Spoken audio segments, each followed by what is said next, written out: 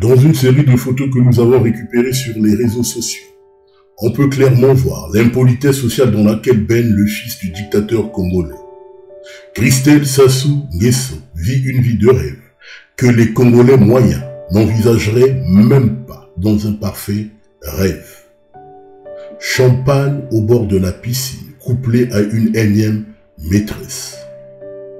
Une vie intime débridée, à l'image de celle de son géniteur, qui d'ailleurs, il faut souligner, Christelle Sassou est lui-même né d'une relation hors mariage, d'une violence conjugale, conformément au texte de loi régissant le mariage en République du Congo. Ce fils du dictateur congolais est détesté de tous, surtout au sein du PCT. Mais il ignore. Le coup de poignard sera violent. La trahison sera mémorable. Pour toutes les personnes qui veulent suivre une actualité alternative, nous vous invitons à visiter notre site internet je Au revoir.